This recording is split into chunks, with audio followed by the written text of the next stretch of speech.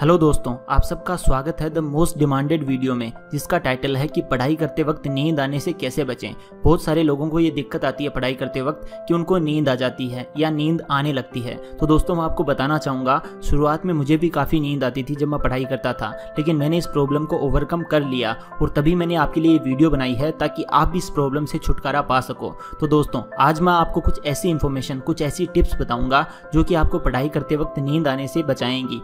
तो दोस्तों बने रहिए इस वीडियो में एंड तक। मेरा नाम है मिस्टर प्रोटोन और आज मैं आपको बताऊँगा how to overcome sleep during study so let's begin तो दोस्तों, किसी भी प्रॉब्लम का सोल्यूशन ढूँढने के लिए हमें सबसे पहले उस प्रॉब्लम के रूट कोर्स का पता होना चाहिए कि मुझे पढ़ाई करते वक्त नींद आती ही क्यों है, उसका रीज़न क्या है तो वो हमें वो ढूंढना पड़ेगा। तो पढ़ाई के वक्त नींद आने के बहुत सारे रीजंस होते हैं, जैसे कि रात में कम नींद आना या कम सोना, पढ़ाई में इंटरेस्ट ना होना डिस्ट्रैक्टेड फील करना बहुत लेजी होकर पढ़ाई करना लेट करके पढ़ाई करना।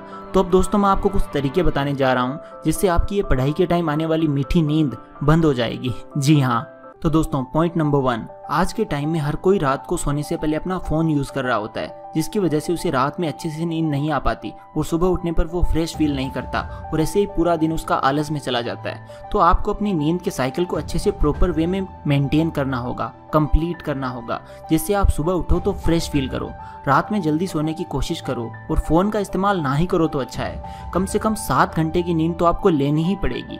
अगर आपको अच्छी तरीके से पढ़ाई करनी है, आपका ब्रेन प्रॉपर वे में तभी फ़ंक्शन कर पाएगा जब आप प्रॉपर नींद कंप्लीट करोगे तो सबसे पहला काम आपको यही करना है कि अपनी नींद को कंप्लीट करो, अपनी नींद के साइकिल को सुधारो। रात में फ़ोन यूज़ मत करो। सोने से दो तीन घंटे पहले ही फ़ोन को स्विच ऑफ़ करके, बंद करके रख दो। उसके बाद नींद लो। आपको इतनी अच्छी नींद आएगी और अपनी नींद को कंप्लीट करो। जब आप अपनी नींद को कंप्लीट करोगे तो आपका ब्रेन जो है वो अच्छी तरह से फ़ंक्शन करेगा और आपको पढ़ाई करने में भी दिक्कत नहीं आएगी। तो सबसे पहला आपको ध्यान यही रखना है कि अपनी नींद को मेंटेन करके रखना है। कम से कम सात घंटे की नींद आपको लेनी ही चाहिए।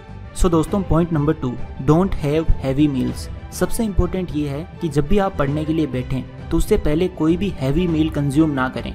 जैसे कि अगर आप राजमा चावल खा के अगर पढ़ने बैठेंगे तो आप अपने सपनों में ही पढ़ाई करेंगे। तो इसलिए always consume light food before study या तो आप अपने मील को कुछ हिस्सों में डिवाइड करें और पढ़ते वक्त ब्रेक लेने के बहाने थोड़ा थोड़ा मंच करते रहें। इससे आपको नींद भी नहीं आएगी और आप भूखे भी नहीं रहेंगे। तो ये आपको करना है। डोंट हैव हैवी मील्स कोई भी भारी खाना जो है, वो आप ना खाएँ पढ़ाई करने से पहले। लाइट फ़ूड खाएँ जिससे कि आपको पढ़ाई करते वक्त नींद ना आए तो ये भी आपको बहुत फ़ायदेमंद रहेगा।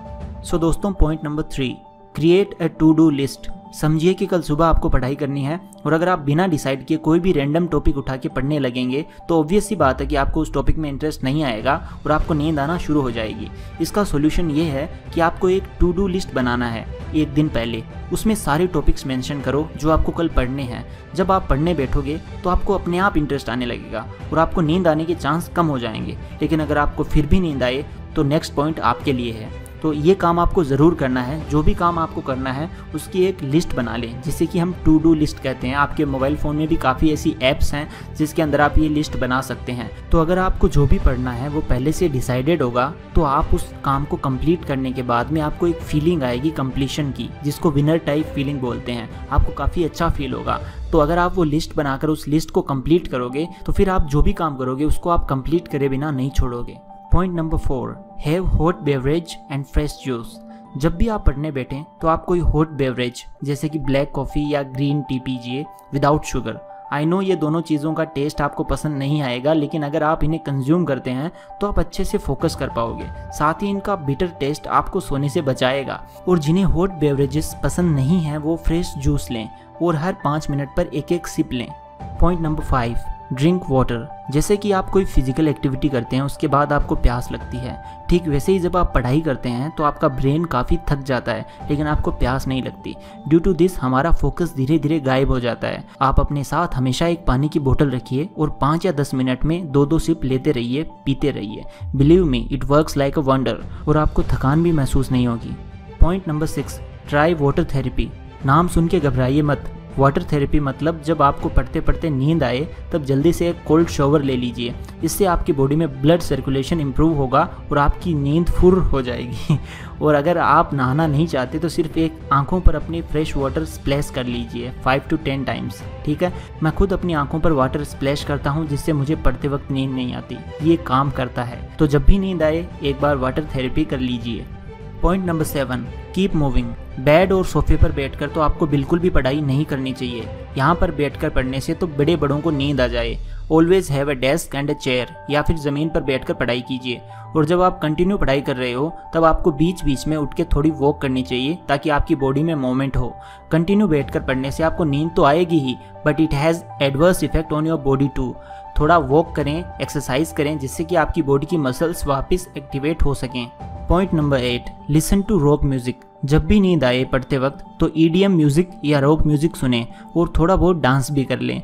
This is the one of the most effective tips use by people who feel sleepy while studying try करके मुझे कमेंट सेक्शन में ज़रूर बताएँ। दोस्तों point number nine take cat nap अगर ऊपर के सारे बताए गए पॉइंट्स फॉलो करने के बाद भी अगर आपको नींद आती है पढ़ाई करते वक्त तो आप एक कैट नैप ले सकते हो। फाइव या टेन मिनट्स का एक क्विक नैप लेने से आपका जो माइंड है वो वापस से रिफ्रेश हो जाएगा। ध्यान रखें नैप लेते वक्त कहीं आप पूरी तरह से नींद ना ले लें। एक अलार्म क्लॉक रखें अपने पास या अपने घर के किसी मेंबर को रिक्वेस्ट करें कि वो आपको जगा दें या उठा दें। क्विक नैप लेने से आपका ब्रेन जो है वो रिफ्रेश हो जाएगा और आप आराम से बैक टू स्टडीज़ मोड में चले जाएँगे। तो ये आप कर सकते हैं। अगर आप पर कुछ भी काम नहीं कर रहा है तो। दोस्तों point number ten it takes time ये सारे बताए हुए पॉइंट्स को फॉलो करते हुए आपको फिर भी नींद आ सकती है पढ़ाई करते वक्त। तो आपको निराश नहीं होना है। It takes time to form lifetime habits आप ट्राई करते रहिए। मुझे खुद को टाइम लगा था ये सारी हैबिट्स को फॉर्म करने में। तो गिव अप ना करें और आगे बढ़ते रहें। आप इन सब पॉइंट्स में से कौन सा पॉइंट ट्राई करने वाले हैं, वो मुझे कमेंट सेक्शन में ज़रूर बताएँ और ऐसे ही स्टडी रिलेटेड दूसरे वीडियोज़ मेरे चैनल पर देखना ना भूलें। वीडियो पसंद आई हो तो लाइक ज़रूर करें, अपने फ्रेंड्स और फैमिली के साथ शेयर ज़रूर करें। तो मिलते हैं अगली ऐसी वीडियो में, तब तक के लिए take care and love you all